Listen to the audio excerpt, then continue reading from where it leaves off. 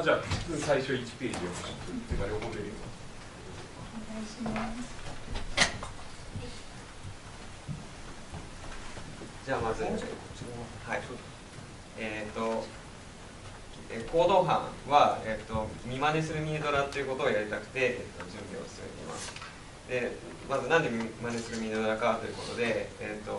ず今流行ってるロボットにペッパーがいると思うんですけど、ペッパーは明らかにこのドラえもん班が、えっ、と、行く方向じゃないっていうのは皆さん共有できると思うんですけど、じゃあなんでペッパーがダメかって言った時に、まずペッパーキモすぎるっていう。まあ見た目もそうなんですけどなんでペッパーがキモいかって言った時にまあ所詮ロボットというかえっ、とその ペッパーは例えばは販売文句をただ再生するだけの文章再生機になっていてそれに対してなんかコミュニケーションを取るというようなそのペッパーにはコミュニケーションの対象としての振る舞いが欠けてるんじゃないかっていうふうに考えられます。で、えー、とじゃあそのロボットをコミュニケーションの対象とこうちゃんと認識させるためにはどうしたらいいかっていうふうに考えた時にまず問題として考えられるのがこの人間の動作に対する反応感。例えば人間がこう指差しをするとか、えー大きな声を出すとかっていう時に、えー、とペッパーはただの再生機なので何の反応もしないんですよね。そうすると,、えー、と我々はコミュニケーションの対象としてそのペッパーを見なせないっていうふうに、えー、と考えられます。ということで、えー、と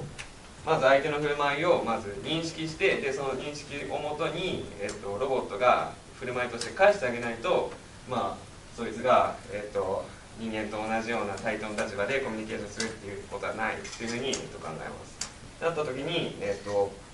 まず振る舞いの、えー、とミラーリングこう手手を真似するとかそういうのが相手に、えー影響を与えるっていうのは人間と人間のインタラクションでもうすでにいろいろ研究されていてでそういうのから着想を得て、えっと、人間を見真似するミニドラを作りたいっていうふうに、えっと、考えています。で、えっと、人間を見真似するってなった時に、えっと、ミニドラだから考えられることとしてミニドラと人間っていうのはその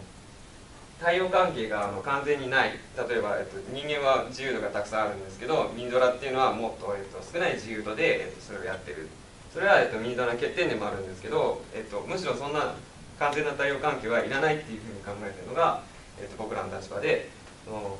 例えばこの大根とかっていうのは人間と全然制御機制御機構でまず動かないですし まあ全然違うのになんとなくこれ腕かなとか足かなって感じさせるようなそういうような、えっと、パーツが見えるんですよね。っていうふうに、えっと、ミニドラと人間が、えっと、異なる身体を持っていても、えーとかその自由度が低くても、えー、と人間らしさを感じさせる振る舞いっていうのはあるんじゃないかっていうふうに考えていましてそれを、えー、と見真似っていうところで、えー、と実現できるかなっていうふうに考えています。ドラヘッドか。わいいよね。これなんかどれか使える？これ危ない。こっちで、まあ、というわけで、まあ、いろいろあったんですけど、アドバイスいただいたおかげで、それなりにあの実験に落とし込むことができて、まあ、どんなことをやったかっていう話を今からさっくりしたいと思いますが、多分なんか皆さん疲れてると思うので、ちょっと立って運動しません？このミニドラのポーズ真似してください。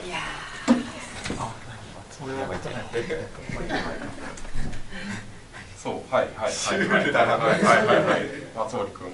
うん、そうそうそうそう、はい、まあ今やってもらったようにそのどうやって全然体も違うミニドラとあにあかけていただいていいです。あいいのはい、人間やった再生カペラです。人間のあのポーズを対応づけるのかっていうことでミニドラを見ればこうやってできますよね。その我々モノマネすることができますよね。ということで今回はその人がモノマネすることによってミニドラのポーズと人のポーズっていうのを対応づけてじゃああのミニドラに逆、まあ、モノマネさせるためのデータ収集をやってミニドラに実際にモノマネさせようということをやりました。でそう、まあ、今言ったような話ですね、まあ、こんな風に写真がを撮ってまあそのこれは秋田君ですけど今日いない。あいた。そうこうやって真似てもらうとなんか秋田君の写真良かったからなかなか何枚か使っててそう。でまあこんな感じで、まあ、随時真似てもらったと。で、えーとまあ、データがをどのくらい集めたかっていうと5人の被験者に協力していただいてあの5人を腕を、えー、と04590135180かな。このまあその普通の状態から万歳まであの 5, 5ポーズとあと一応3方向から写真撮ってこうやって集めましたと。でこの集めたやつどうやって使うかっていうと,、えー、とあの最近僕が自分の研究でも使ったオープンポーズというすごいいいやつがいてですね。入力画像があると。でこの入力画像をオープンポーズにかけるとこうやってこの明らの目を追うような感じで目もちゃんと抽出してくれてこの綺麗なポーズが出てくるんですね、まあ、これ2次元の情報なんですけど、まあ、このうちの、えーと、この腕の6つの座標をで入力データ入力ベクトルとして使ってえいやと立地回帰を使って、まあ、ただ線形回帰の毛の生えたやつですけど、えーと、ミニダラの腕の高さをあのこの姿勢情報のベクトルを入力として0から0.51っていうこのミニドラの腕の高さっていうのを推定するような問題にしてさっくり解きましたと。で解けたかどうか解けました。やったっていう感じでこれ正解と予測なんですけどまあ確かにそのいわゆる。0.75っていうのはミニドラにでいうとこのポーズですね。このポーズを真似てくださいって言ったものに対してまあ、真似たものを今度逆方向に人間からミニドラの高さへっていうのを予測させたんですけどああいい感じじゃんと。万歳取れてんじゃんと。あと面白いのは腕結構もう斜めっててあのまあこいつも微妙に斜め向いてますけど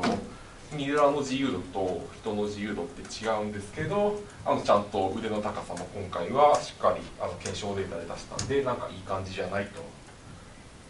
で面白かったのはあの万歳してもらった時にあのこれ一自由度なんでなんか構造に忠実にやってくれた場合となんか長野君が結構長野さんが長野さんがすごいあのなんでしょう見た目に忠実な感じでなんかこんな感じの動きをして全然人によってあ捉え方違うんだなってその人の方を見た場合でもちょっと面白いなと思ってまあその一方で予測は両方元もなんか OK な感じだよというような結果でした。でまただちょっと研究としてはまだまだこれからって感じで、えー、っと1次元はで出力はうまく取れたんでよかったと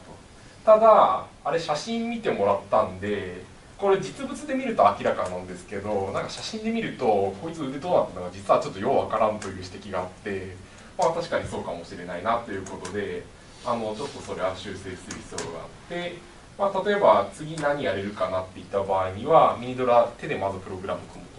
なんかミエドラがエサホイサとかなんか動きながら踊るじゃないですか。で人にまあゆっくり踊ってもらってミニドラの動きを人が追従してもらう。っていうのを映像で撮ってそいつをデータにすると今度はなんかミニドラが前に動いてるっていうのと人が歩くっていうのが対応するって人が感じるのであれば、まあ、つまり人が歩いた時にミニドラが車輪を前に進めるっていうような制御も今後できるようじゃないのっていう気がしていてあのそれなりにまだ進むところがあるかなと思ってます。でプログラム一応実機で動くプログラムを書いたつもりだったんですけどそれは見送りです。けど2時間ぐらいで書けたんでそれは B 班とかのおかげかなと思っていてありがとうございますと。なのでちょっといつ動かせるこれこれですか、うん、あのミラーがレディーになり ミラーセットアップが。まあいや。まあとにかくありがとうございますが、ね、まあ、書くの簡単なんでなんかビハンとかみたいになんかブラックブラックしなくても っていうことで締めたいと思います。以上です。